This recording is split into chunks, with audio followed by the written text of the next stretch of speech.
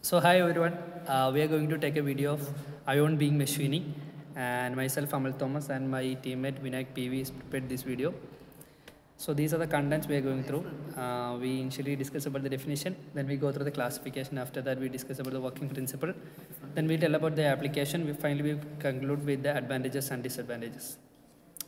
So definition of IBM. IBM is simply means ion beam machining. It's generally a surface finishing process in which the material removed take place by uh, sputtering of ions.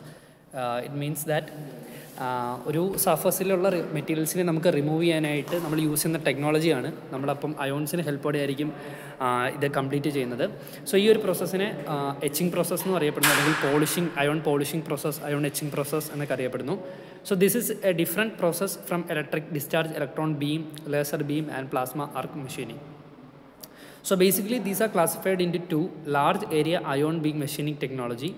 Simply we call it as LIBM.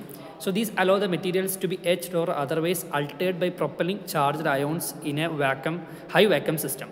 So next one is focused ion beam machining technology. Simply we call it as FIBM. It's typically typically include a scanning electron microscope in a configuration where lenses for both ions and electrons enable precise machining through sputtering, milling or deposition process, structural metrology through the scanning, electron microscopy and X-ray analysis. So ion beam machining ആണ് കൂടുതൽ focus ചെയ്യുന്നത് just classifications ഒന്ന് മനസ്സിലാക്കി വെച്ചാൽ മതി so coming to the working principle uh, this process is very simple and it consists of bombarding the work with the accelerated ions which collide with the surface atoms of the work and uh, each bombarding ions as a result of collision dislodges surface layer. So നമുക്ക് working principle ഫിഗറിലൂടെ സിമ്പിളായിട്ട് മനസ്സിലാക്കാൻ പറ്റും that means ഇതൊക്കെയാണ് common ആയിട്ടുള്ളൊരു figure and from this figure we can easily understand that നമ്മൾ കോമണായിട്ട് use ചെയ്യുന്ന ഇലക്ട്രോഡ് എന്ന് പറയുന്നത് ടെങ്സ്റ്റൺ ഇലക്ട്രോഡാണ് അതേപോലെ തന്നെ നമുക്കിവിടെ ഒരു ഇനേർട്ട് ഗ്യാസ് ഉണ്ട് അത് നമ്മൾ ആർഗൺ ആയി കോമൺ കേസസും ആർഗൺ തന്നെ ആയിരിക്കും എടുക്കുന്നത് സോ ആർഗൺ അതായത് ഈ ഇനേറ്റ് ഗ്യാസും ഇലക്ട്രോഡ്സും തമ്മിൽ കൊളൈഡ് ചെയ്തിട്ട് നമുക്ക് ആർഗൺ അയോൺസ് ആയിട്ട് പോവുകയും അത് ഒരു വാക്കം ചമ്പലൂടെ പോയിട്ട് ഒരു വർക്ക് വർക്ക് പ്ലേസിൽ വന്ന് ഇൻസിഡൻറ്റ് ചെയ്യുമ്പം അവിടുന്ന് അവിടെയാണ് ആക്ച്വലി ഈ അയോൺ ബി മെഷീനിങ് വർക്കൗട്ട് ആവുന്നത് അതായത് ഈ ആർഗൺ അയോൺസ് കൊളിഷൻ വഴി ഉണ്ടാകുന്ന ആർഗൺ അയോൺസ് ഈ ചാമ്പറിൽ കൂടെ പോയിട്ട് നമ്മുടെ വർക്ക് പ്ലേസിൻ്റെ സർഫസിൽ വന്ന് വരും ടച്ച് ചെയ്യുമ്പോൾ അവിടെ മൊമെൻറ്റം ട്രാൻസ്മിറ്റ് ചെയ്യുക അല്ലെങ്കിൽ എനർജി ട്രാൻസ്മിറ്റ് ചെയ്യുന്നു ആ എനർജി യൂസ് ചെയ്തിട്ട് ആ സർഫസിലുള്ള മെറ്റീരിയൽസിനെ റിമൂവ് ചെയ്യുകയാണ് സോ ഈ ഒരു ഫിഗറിൽ നമുക്ക് നോക്കിയാൽ കാണാൻ പറ്റും ക്യാതോഡ് അതായത് അവിടെ നമ്മൾ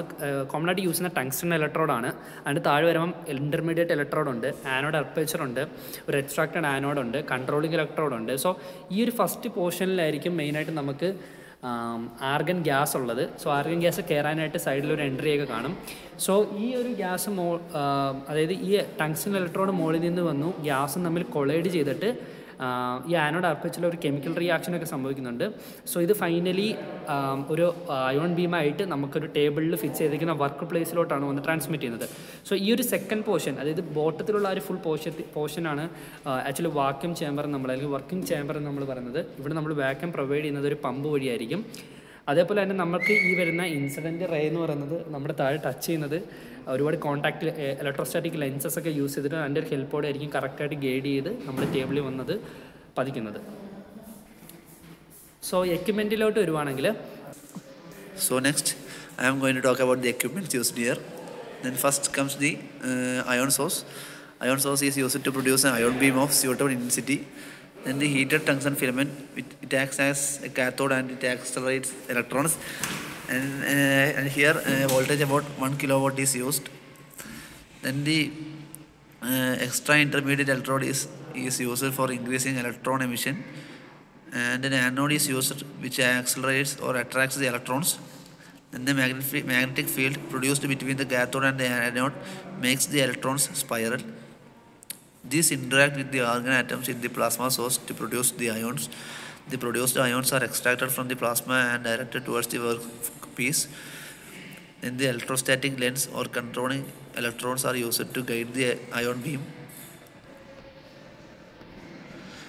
Then the atoms will be dislodged due to transfer of kinetic energy of the ions and the thermal effect has no role to play in here. The workpiece surface is masked wherever no eh, material removal is intended. Material removal occurs only at eh, unmasked surface. The workpiece is mounted on a water-cooled table. A vacuum pump is used to create high vacuum.